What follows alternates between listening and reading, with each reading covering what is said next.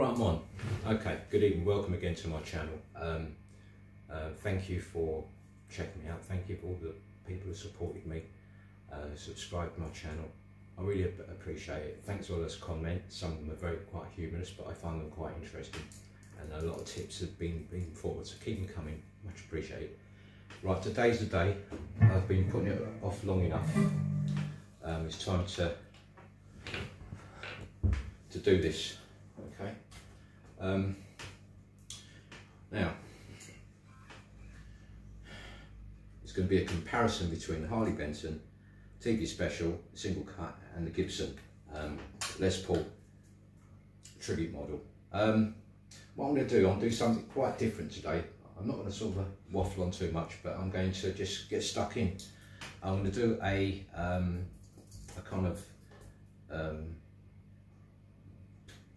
kind of backing track, you know, to see how they sound in the mix. I'll be using my pedals, different, you know, look at me when I of do the selector switch, give you an idea of the flavour. I'm just going to just go straight in, um, you know, just like someone said, play this, okay, what do you think? Oh, not bad, play this. And then I'm going to basically break it down and sort of uh, warts and all, tell you all the good, the bad and the ugly about these both guitars. So without any further ado, oh yeah, um, I'm doing something slightly different today. Um, um, obviously we're inspired by certain plays and certain imagery we, we grew up with before we chose an instrument. I remember Bob Marley um, was he played um, a, a, Gibson Les Paul Special. Um, he had it for many years. It's one of his favourite guitars. Um, so I'm kind of doing a tribute to Bob Marley um, based on his preference. Okay, just to sort of tribute to his memory in the context of doing a review of these guitars to see how special they are. It's called a Gibson Les Paul Special. Let's see how special they really are. Okay, let's do this.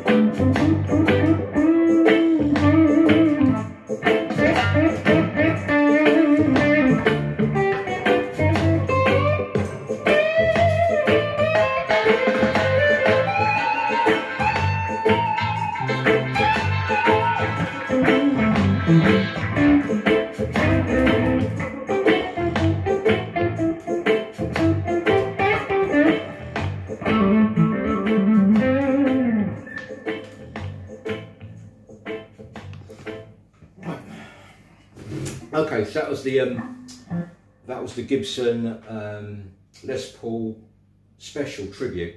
Let's go straight to the um, Harley Benton. Um,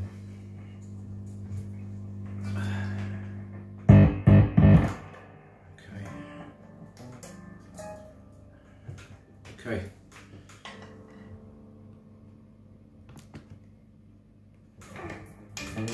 Let's do it.